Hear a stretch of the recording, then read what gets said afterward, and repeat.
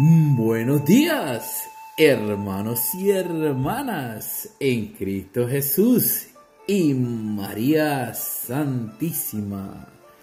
Buenos días en este hermosísimo 11 de abril del 2019. Vamos a tener un día soleado, soleado, temperaturas de 37 a 57 grados aquí en Nueva York. Algo parecido a lo que tuvimos en el día de hoy. Bueno, hermanos, vamos a lo que vinimos. Eso era, era un, estribillo de una canción eh, que tuve un tiempo ya en, Puerto Rico y se llamaba Moda Banda. A lo que vinimos, Moda Banda.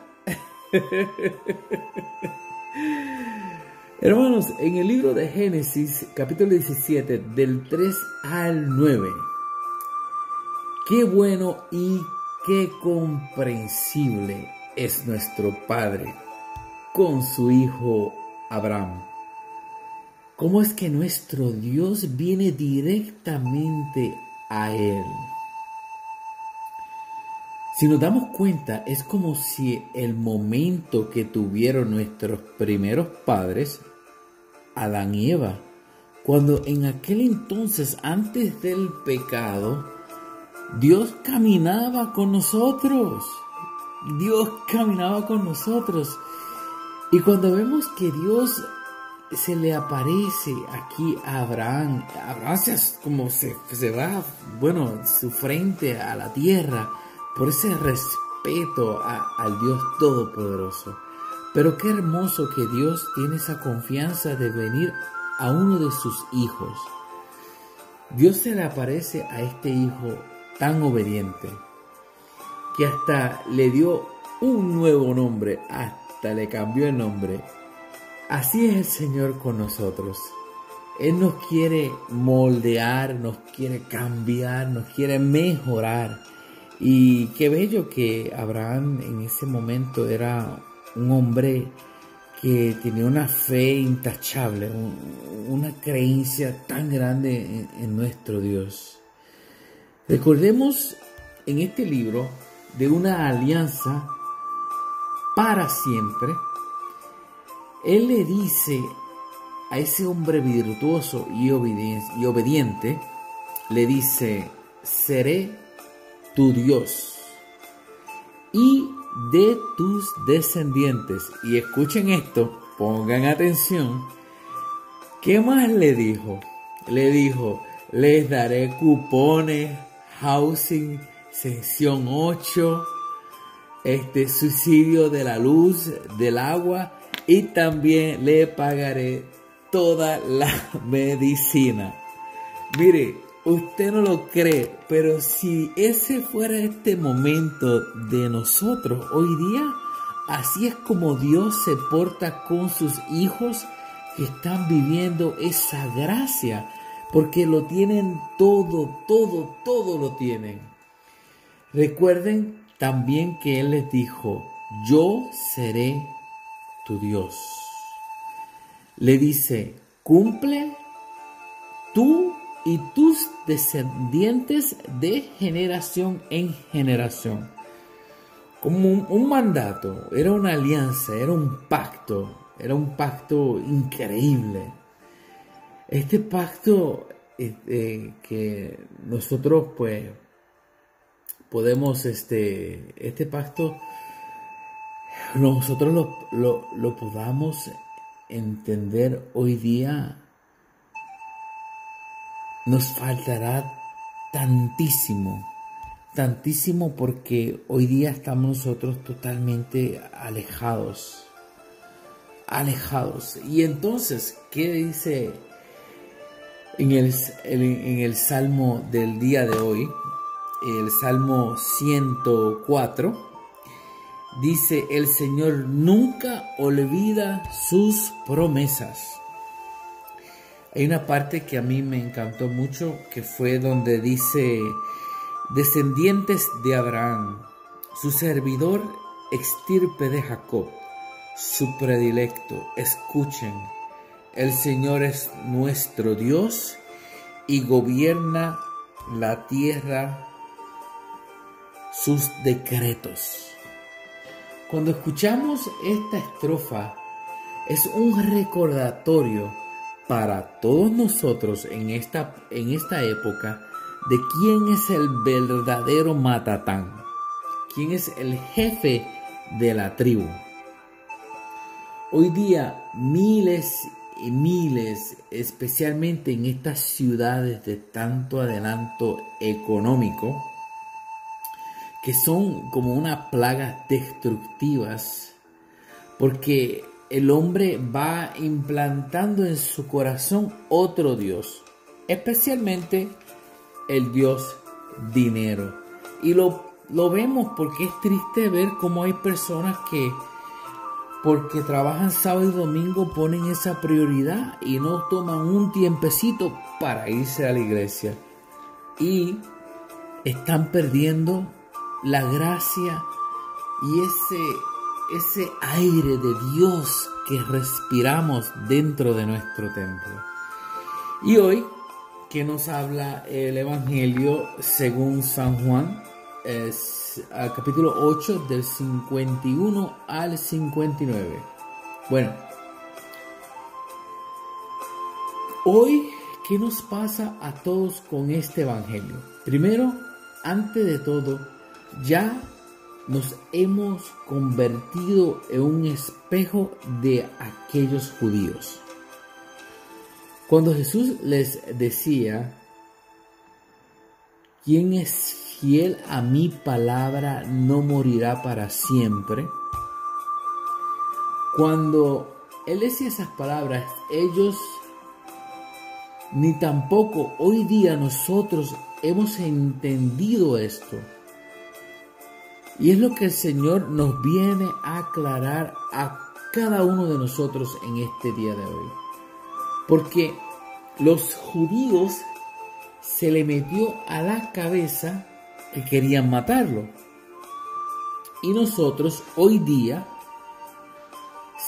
no seguimos su palabra.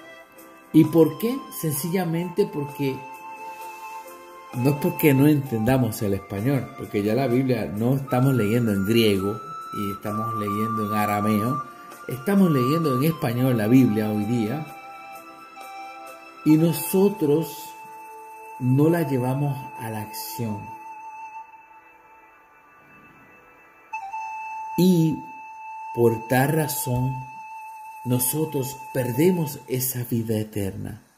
Esa vida eterna que también perdieron a los judíos por no creer que Él era el Señor. Estamos hoy día en la, en la, misma, en la misma suerte que pasaron estos judíos.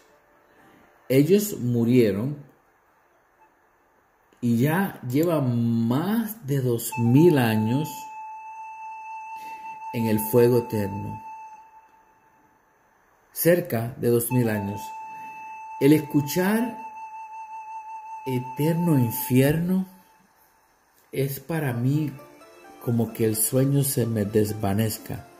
Pensar que hay seres humanos de carne y hueso que vivieron y pasaron por esta tierra y que por seguir ese, ese orgullo propio y no escuchar esa nueva doctrina que Dios les vino a, traer, esa, esa, esa, esa, ese, ese, ese mandamiento del amor y querer matarlo.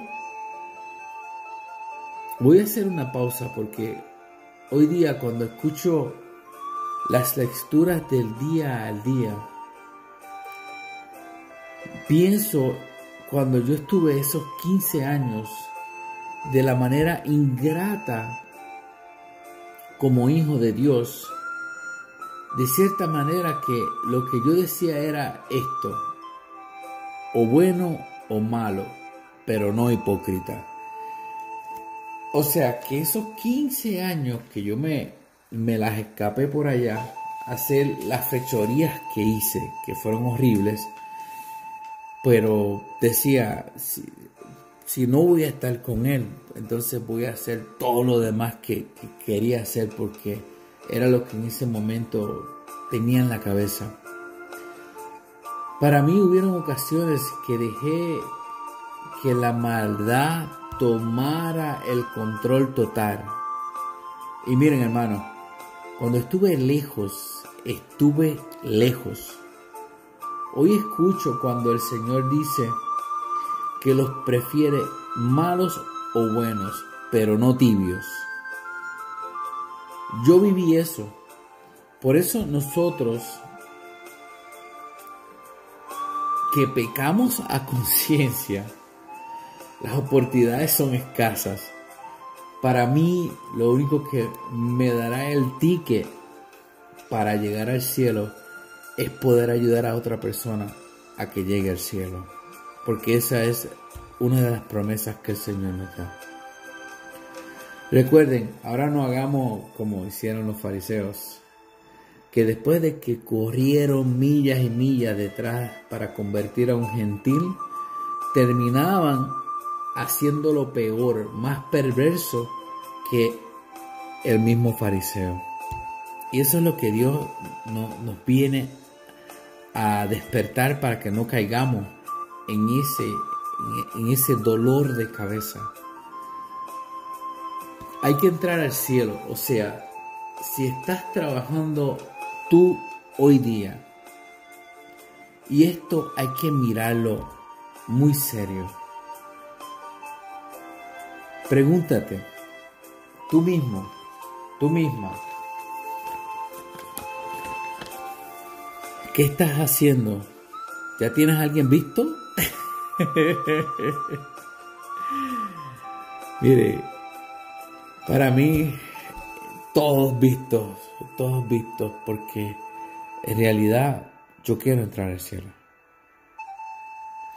Concluyo con un, un anticipo de lo que me ocurrió en el día de hoy. En el día de hoy les cuento que una hermosa y brillantemente me hizo una pregunta.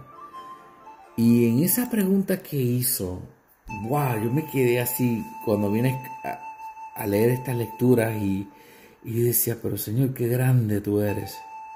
Qué grande. ¿Que quién es Dios? Y aquí está la respuesta para él.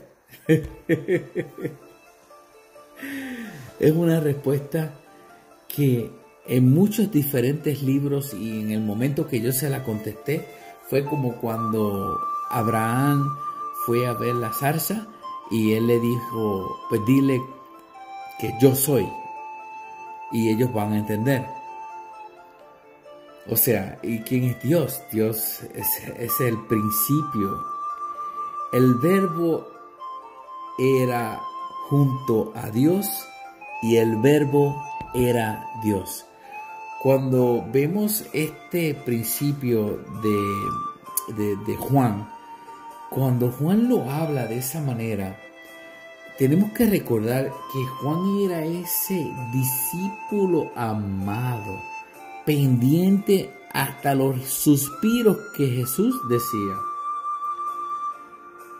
Y hoy día, este, muchos dirán que tal vez lo que Juan lo dijo fue como para para una forma de, controlar las masas y tener a la, religión de esta manera, pero mire, le voy a decir una cosa, para que haya constancia, tiene que venir a inventarse algo de esta manera, solo no va a poder, no va a poder. ¿Y qué sucedió? Y yo los reto a ustedes a que puedas ver a través de los ojos de ese discípulo amado. Juan prestaba mucha atención. Cada vez que Jesús decía las parábolas, él mencionaba en esas parábolas lo mismo que dice en la lectura de hoy que Abraham se alegraba, alegraba En este día hoy dice, Abraham el padre de ustedes se regocijaba con el pensamiento de verme. Me vio y se alegró por ello. Los judíos le replicaron, no tienes ni 50 años y dices que has visto a Abraham y has visto a Abraham. Les respondió Jesús, yo les aseguro que desde antes que naciera Abraham, yo soy. El Señor, cuando habla a David, y David lo dice en el Salmo, el Señor de mi Señor, ya el verbo existía y la palabra se hizo carne y habitó entre nosotros. Muchas personas podrán irse por la tangente y cuando vemos al Padre de la Fe, cuando vemos al discípulo amado, cuando vemos esta, este entrelace tan hermoso de ellos, es para nosotros realmente recapacitar y no seguir la línea de estos judíos que realmente por no creer perdieron su, su alma. Y hoy día tú estás escuchando este audio es por alguna razón importante, una razón que Dios tiene para tratar de llegar a tu corazón y también ofrecerte esa vida eterna. Como, como Él dice, si eres fiel a mis palabras, no morirás para siempre. Y es lo que el Señor viene a ofrecernos. Y es lo que nosotros hemos estado en estos 40 días, esta cuaresma, preparándonos para resucitar con el Señor en ese día de Pascua. Que el Señor los bendiga grande y abundantemente, que esté entre medio de sus corazones, que sean las manos de Él que los forme, que los lleve a su Hijo Jesús y especialmente a la Eucaristía, donde ahí está el Verbo encarnado, esperando para hacer contigo la unidad más hermosa y preciosa que pueda haber en el universo. Que Dios los bendiga en el día de hoy. Amén.